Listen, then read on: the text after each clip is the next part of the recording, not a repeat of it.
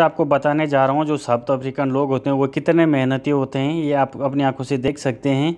ये कितने मेहनती होते हैं। बहुत ही सस्ते में काम करते हैं ये लोग। यहाँ की जो एक हज़ार है, इसमें काम करते हैं। इंडिया के कम से सत्तर अस्सी रुपये के हिसाब से वो काम करते हैं दिन के। काफ़ी मेहनती होते हैं पर काफ़ी वो गरीब होती है। गरीब कंट्री है। काफ़ी सस्ते में मिलते हैं यहाँ पे ये लोग काम करने के लिए। ये आप देख सकते हैं कितना मेहनत है कितना फास्ट है ये कितना जल्दी जल्दी बनाएगा है। आधा घंटे के अंदर ये वो उसको पूरा फिक्स पूरा बना कर, कर तैयार कर देगा। ये देखिए इतना काफ़ी तेज़ होते काफ़ी मेहनती होते पर ये लोग बहुत ही सस्ते में काम करते हैं क्योंकि यहाँ की कंट्री जो है काफ़ी गरीब है यहाँ के जो लोग हैं वो काफ़ी गरीब हैं। इसलिए लोग क्या है जो सस्ते में उनको काम मिल जाता है इसलिए वो कर देते हैं कि खाना पेट भरने के लिए और कुछ नहीं और लोग चोर भी काफ़ी होते हैं। ये देख आप ये देख सकते हैं काफ़ी गरीब है लोग गरीब गरीब कंट्री है।